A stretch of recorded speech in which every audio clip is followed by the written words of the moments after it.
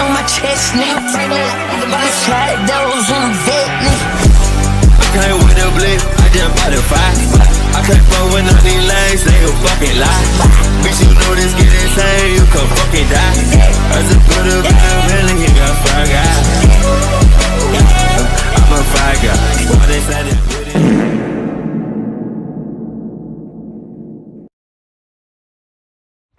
Welcome back, kittens. Daily videos back on the menu.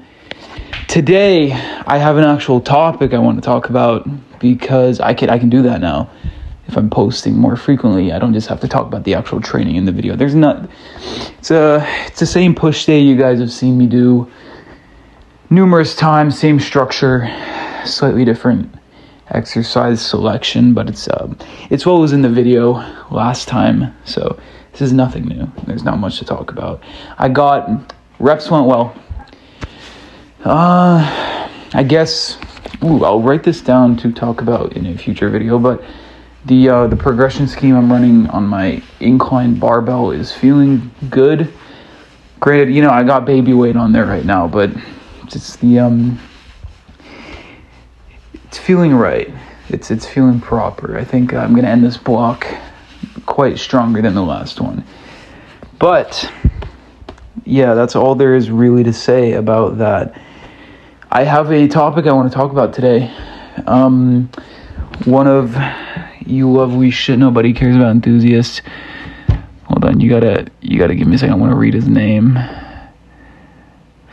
Fer- Ferreira Brites Francisco Sebastian commented. God, that's a long name, dude. He commented, Could you do a home gym tour and talk a bit about exercise selection when you only have barbells, dumbbells, and a pulley? Now, uh, you're, you're not getting a home gym tour, not, not for a while, but you can get an answer to that comment. I told him, yeah, I'd do that. I told him that about almost two months ago, but I always deliver. Very slowly, but I deliver. So, he said uh, barbells, dumbbells, and a pulley.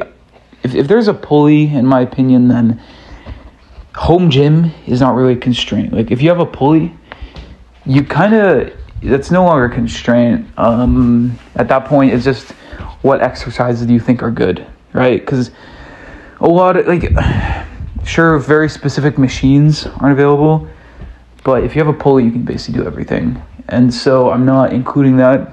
I'm just going to go with barbells and dumbbells, but I'm going to even try to keep it as close to just barbells as possible, just so it's as universally applicable as possible so that it's not useless because and especially in my garage like what would i do in a home gym again i can basically do anything with the shit i have coming in but so i'm not going to really treat it like a back when i started this whole f-bed thing the whole that whole f-bed thing i'm not doing that anymore so i shouldn't say this like it's present tense.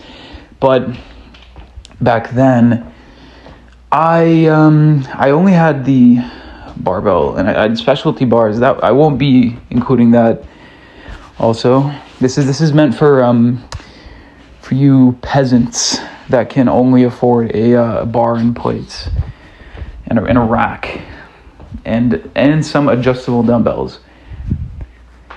That's all i'm working with and calisthenics forgot to say that. Calisthenics is also um, being factored in because like obviously that's the, the that's shit people do with no equipment. So that's obviously being factored. But i'm just gonna go muscle group by muscle group. I'm gonna try to keep it like three ish exercises per muscle group.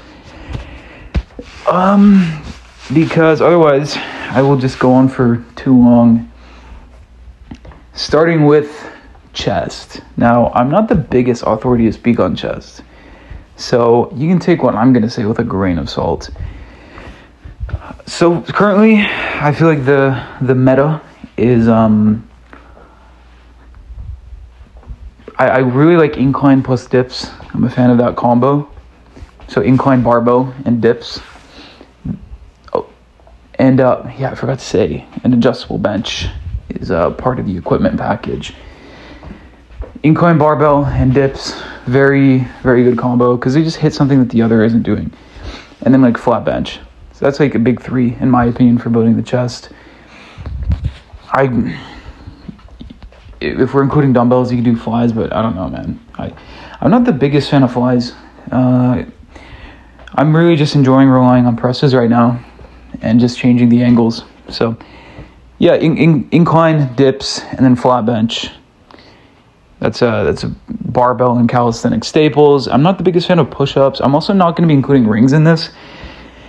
And it's not because I think it's too specialized or inaccessible for most people. Rings are very accessible. It's just because I have no experience with them and I don't have like any right to speak on that. For traps, I guess because we're going from head to toe. Traps. Conventional deadlifts. Yeah, definitely conventional deadlifts. Um, I don't. I don't. I'm not even going to debate this. Just uh, enough said there. You do a power shrug, and oh, I'm speaking upper traps, by the way. And um, what the fuck else is there even do? Because that's what built my traps. I got nothing else to say to you, man. Like delts. So I'm gonna divide it up through the uh, the different heads. Front delts are gonna be largely hit through inclines more than anything, as far as things that aren't a shoulder press that still hit them. Um, I think a lot of people overrate the level of overdevelopment you get in your front delts from like your other pressing when it when it's um only like flat pressing. I don't think flat pressing, if, if you're just doing that, it's going to leave a lot to be desired in your front delts. But yeah, if you're doing a lot of inclines, and that covers a lot of front delts, along with shoulder pressing. If you do a narrower grip, more lean back OHP like I used to, that's going to be a lot of front delt. Unfortunately, in my case, because I wanted it to. Oh, I have an alarm going off. I gotta stop that. Shut the fuck up! Shut up! Anyway. Yeah, you know what? Oh, if you so if you're just into like chasing numbers, then like the lean back narrower grip OHP is good, just because it's a fun exercise. I um I always enjoyed it a lot, but I just stopped doing it because even though I was stronger on it, it just wasn't doing well for my side delts. But if you don't care about that, then yeah, that's good. And I guess I have to say three. You can do barbell front raises, and I'm not really one of those people that's. I'm not a big fan of the people that say, "Oh, don't ever isolate your front delts," because they're gonna be overdeveloped from your uh, pressing movements. If you're if you're naughty, I uh, I think you should worry a bit less about overdeveloping any part of your delts. I think uh, I think you're you have the wrong priorities there. Where you're overestimating your abilities, but yeah, so it's it's it's okay to do front raises. It's fine. It's, it's uh you don't have to feel bad about it. For side delts, lateral raises, dumbbell. Um, the, the ones I do on the floor, I'm a big fan of. The lateral raiser is kind of a staple. I think that's going to be most people's go-to at the at the end of the day. It's a it's a no-brainer. I explained why I preferred glute raises um, in the last video because you kind of grind through that sticking point. So that's a great option. But if you're doing them with plates, they do have slightly less um, overloadable weight increments, and you can do them with dumbbells, and that's fine. But yeah, some sort, just some sort of raise variation. Uh, the one lying on the floor, the Jeff Nippard style, I'm liking so far. I uh, it's too early for me to comment too much on it, but it, it does have a good stretch. It's very good for stretch me to hypertrophy, maybe. Um, but I can't really speak much on that. It just uh, feels nice though. And upright rows. Upright rows are, would be the barbell uh, shoulder elevation of choice. I stopped doing them because uh, I kept on slamming my chin with them and almost destroyed my teeth twice. And the second time was enough for me to say, okay, fuck this. But they are good. You just don't have to go all the way up, or just don't hit yourself in the face like I kept on doing. behind the neck press, also a great option if you can. I currently am not behind the neck pressing, even though I was for a good bit. Fucking tremendous. I love that exercise, but it uh you know, if you don't have good external rotation mobility, have some sort of shoulder imbalance, it's going to exacerbate it because it's just going to come through on there. And a lot of these guys saying like, "Oh no, this is doing the movement is actually going to heal it." Like sometimes no, sometimes just no. Sometimes if you want to be able to do the movement, you have to deal with the imbalance, or if you're not going to deal with the imbalance, you just can't do the movement. But it uh, there's there's a lot of cases where overuse injuries will just be exacerbated by doing the movement more and more, and it just builds up more instead of you building more tolerance. I learned that the hard way, and it sucks. But you know, maybe someday I'll be able to come back to it. If you have good external rotation mobility, though, in both shoulders, then it's perfectly valid exercise. Rear delts, Powell raises, very good. Wide grip rows. This is sort of the um, the barbell exercise equivalent for the rear delts is wide grip rowing. I always like to, if I can, I like to include some sort of wide grip rowing in my routines because uh, it's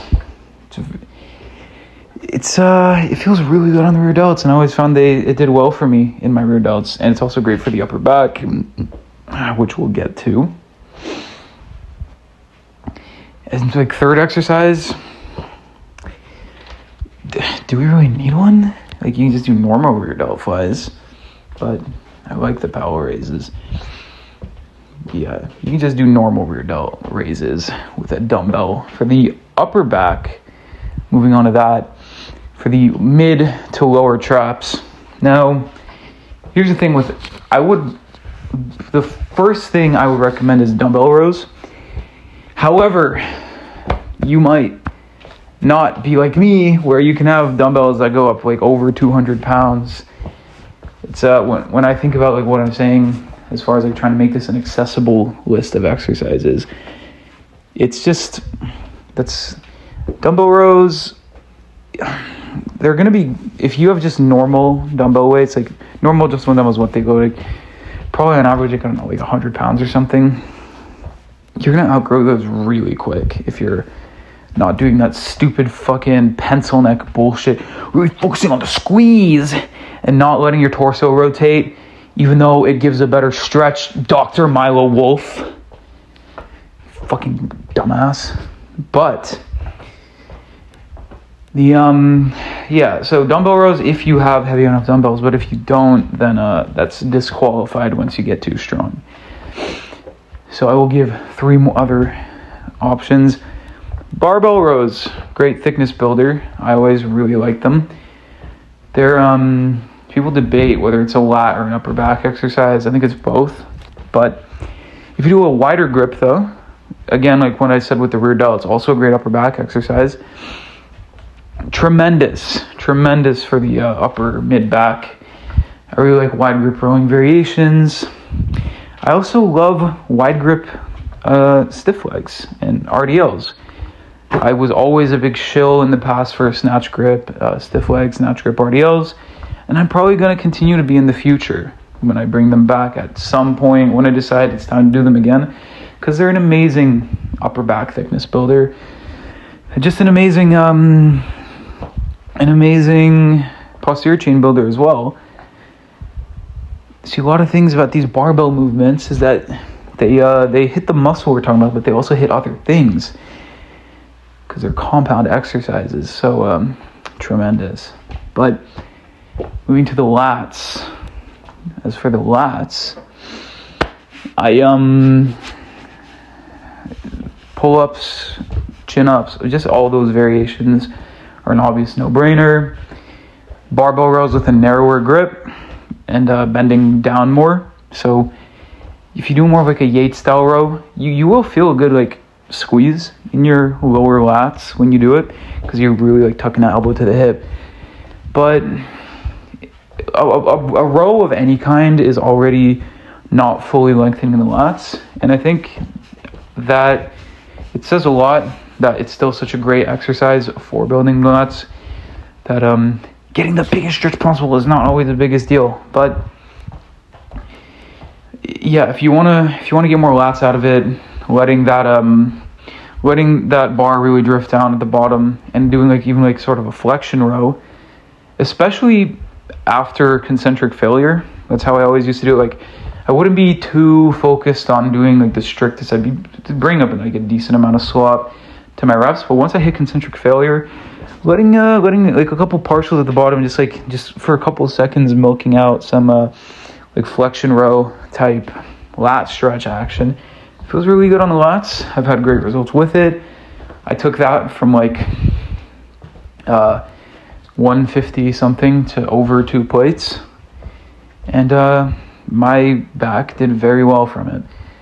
Pullovers, pullovers of any kind, god tier. I, I don't, I don't know why pullovers are. And it doesn't have to be dumbbell pullovers, golden era style or whatever.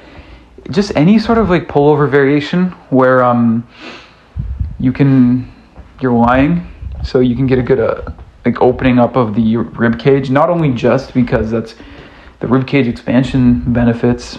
Uh, I feel like you have to be arching to do that, and that's the pullover that's best for your rib cage is probably also going to take a bit from how good it is for the lats in my experience because um, you want to kind of keep that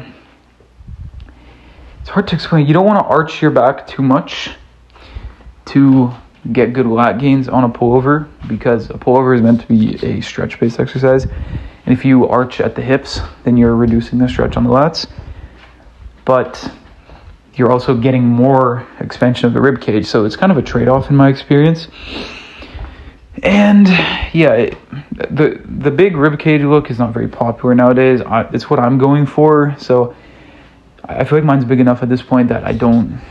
I, am focusing more on just doing pullovers for uh, muscle growth now. But it's something I focus on a lot in the past because that's kind of the look I'm going for. But it's not very popular so it's not something I feel like you should kind of scratch your head worrying about. It's as far as like the physique aesthetics meta, nobody really cares about a big rib cage nowadays, especially for natties where it's harder to fill that out.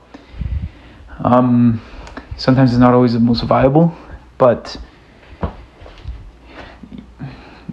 the um, the pullover just done really focusing on getting good stretch on the lats, but like keeping that uh keeping that torso more rigid very great. And I don't, yeah, what I was trying to even say is I don't know why people fucking shill that cable pullover, the lat prayer. You gotta call it a lat prayer. You can't call it a pullover, okay?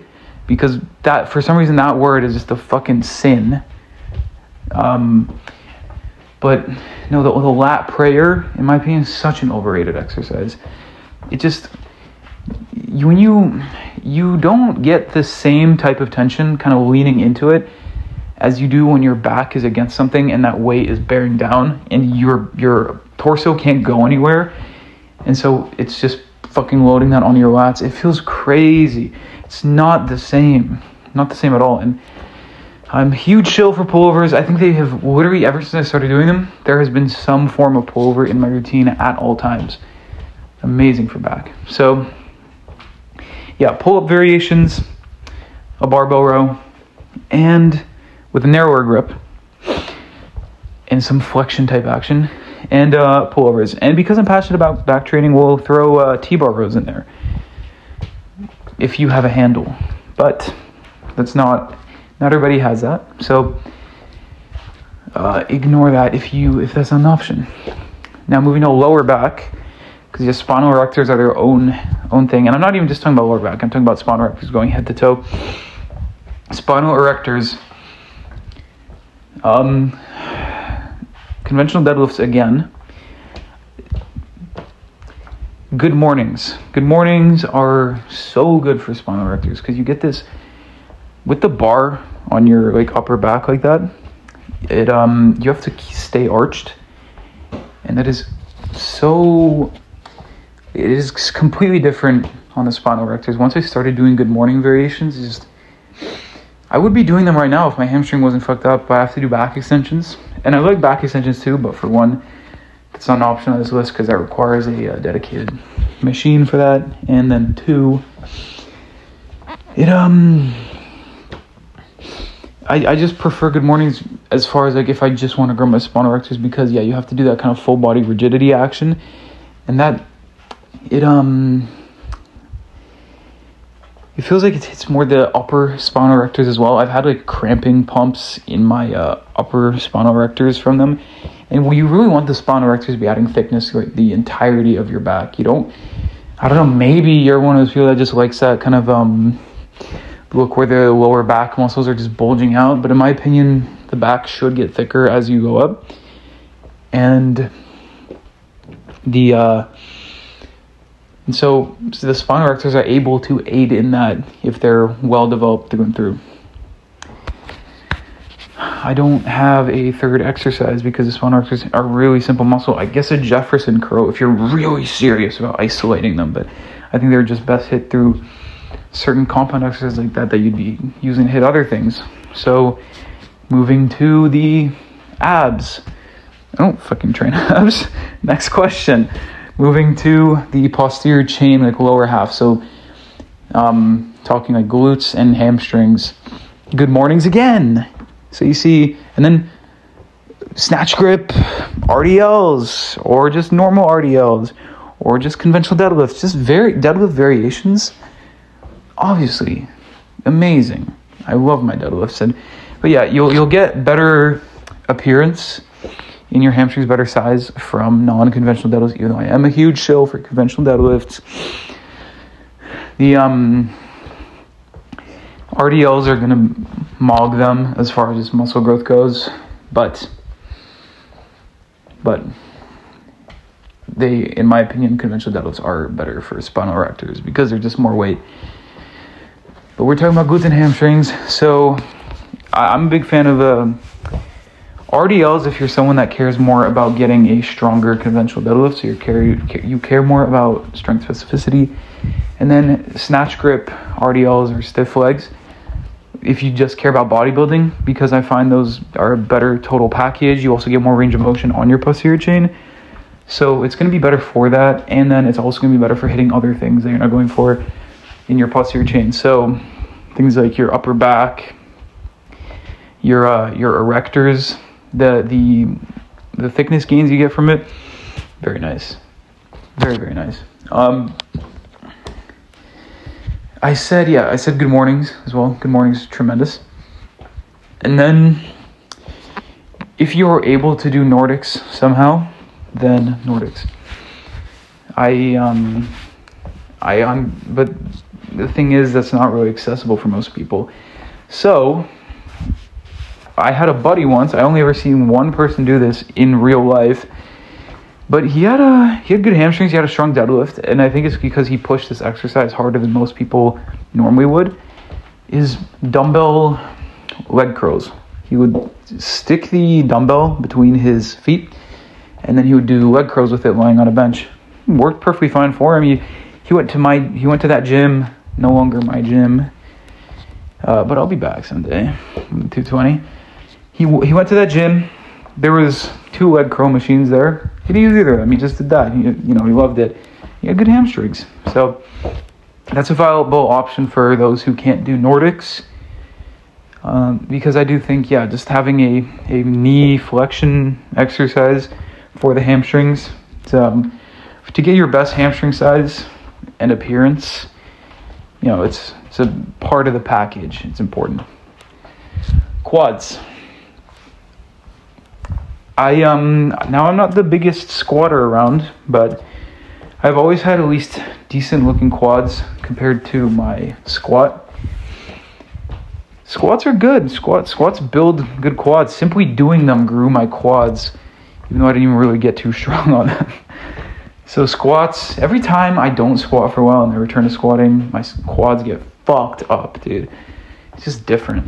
So nothing compares to squats. Low bar is fine. I consider low bar better for me personally because of my leverages. I wouldn't fall into just the idea that a lot of people preach that just, oh, low bar is more of a hip dominant variation and high bar is more of a posterior chain variation. Well, not, or no, what the fuck? Uh, quad variation, then low bar is more posterior chain.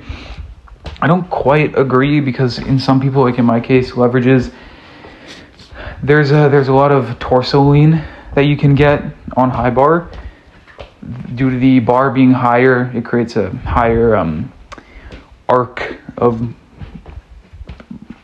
movement or whatever on your um, on your hip joint. Like the there's more torque on that joint because the weight is out further because the bar is higher on your back. And so the bar can pull you forward more than it can on a low bar. Like on a low bar, you'll be more forward, but you're not getting pulled forward more because the bar is lower. Uh, you're just more forward because simply to have that center of gravity, you have to be more forward because the bar is lower. But on high bar, it, it can pull you forward more, and if you don't have the leverages that um, makes that makes you more upright squatter, they can actually, in my experience, be, because of like how the problems I have had squatting, make it more of a hingy squat because you have a tendency to rise the hips, you you you, you fall forward, dump forward, and you have to then extend your hips up, and um, yeah, for me, low bar is actually more of a feels like a leg press. So I prefer low bar, but this is all about your leverages. Front squats, god tier. Front squats are so good, and I can't wait to be doing them next block on a Williams program. I've, cross arm front squats, especially, I think they're very overhated. I think they're very good exercise because they also are a really good upper back exercise. If you do a lot of cross arm front squatting, you will get good lower traps, which is something people sleep on. Lower traps, um, they, they have to kind of isometrically contract a lot, and it's it's gonna fucking grow them, dude. They're um so front squats, one of my favorite quad exercises, and I can't wait to doing them again. And it's one of my favorite squat exercises. Like it's it's a squat I find pretty fun to do. Feels very comfortable. So front squats get a very get an S tier from me. Reverse Nordics as far as isolation goes, very good. You know, a leg extension machine is not going to be accessible to most, and those which are cheap enough for most suck ass. So, reverse Nordics, very good for quads. I love them. I uh, ever since I realized I could do them and and that uh and how much and I started doing them, they're probably gonna be a staple for me for a very long time. Split squats. Split squats are also something you can do if you have dumbbells. And um, now moving down to the calves. Calves, I'm not going to talk at length. I like donkey calf raises, but some people don't. I find that for calves, home gym calf raises are a bit of a pain in the ass because setting up the weight for them and then shit like that, it, it's um it's a bit of a chore. It's hard to kind of load that. And so I um I like the donkey calf raise with a, with a weight belt. You might be someone that prefers just loading a bar on your back doing that, or holding a dumbbell with uh, and then doing single leg calf raise on like some stairs. In my opinion, you just have to find. In this case, I don't really have any suggestions. You just have to find what feels right. Because for me, it's the donkey calf raises. However, it um it's going to be very individual i find because overall just none of these none of these are going to be the best option calves are just one of the things that's best trained with actual like gym equipment so like i, I like doing it on the belt squat i'm to have the low pulley coming soon to mimic that or a calf raise machine it, a lot of people that works for them it never worked for me because i always found that my heels would slip back and i never liked how um it felt like with it loading on my back and that pushing down on my heels, I felt like it uh it really fucked with my Achilles tendon. But a lot of people will get a lot out of that. So calves are one of those that's you know, either either throw a barbell on your back and do calf raise with that, or do the donkey calf raise the way I do, or yeah, you can do like single leg dumbbell calf raises on a on stairs. But you you got to pick what you like and can stick to more so than anything. The stick to part is the most important because yeah, I just don't think any of the options are going to be optimal in this case. I do have a theory about a calf for calf exercise though that keeps it going through my mind is like either um, farmers walks on tiptoes or yoke carries on tiptoes. This isn't even me just suggesting, this is just me like theorizing and, and thinking and, and letting those thoughts out. I feel um I uh I'm, t- I'm tweaking again. I just feel like there's even though there's no range of motion, like you're just holding an isometric contraction for it. I don't know. It feels like there there would be something there. It's kind of like how the whole fat guy uh, calf size meme, where like guys just get fat and they get huge calves from it. I don't know. It just feels like there's something there, but I just don't have the time to pursue that idea. But I want to put that idea out there. Moving on to the arms, because I went down head to toe to the torso. I didn't mention neck because if you do your deadlifts, you eat your food, then you won't be a pencil neck. And if you are, then I don't know, do just like neck extensions and uh, neck curls with plates. But I never had to. I uh, I did my deadlifts. I did them a lot with high volume and grew my neck. Arms, starting with the triceps, triceps, rolling extensions, overhead extensions, and a JM press type variation. So that's just the big three, in my opinion. And I have, I have nothing more to say. And I won't elaborate or explain why. Biceps. Biceps are such a simple muscle, yet my thoughts on it are a bit complicated. Because I've, I've struggled for a while to like find my ideal formula for them. I think it's they grow fine for me, but my triceps just grow so much faster that I'm constantly like just like scratching my head thinking about how to grow my biceps more and more and more because I'm just constantly worried about them lagging behind my triceps. But you know, a barbell curl, dumbbell curl, dumbbell incline curl if you have an incline bench, which uh, I was part of the equipment requirements as far as what I'm making on this list because I mentioned incline bench. So incline curls, there's preacher curls if you're um, doing one arm on the incline bench, or you know I, am not going to suggest anyone do the ridiculous preacher curl setup I do.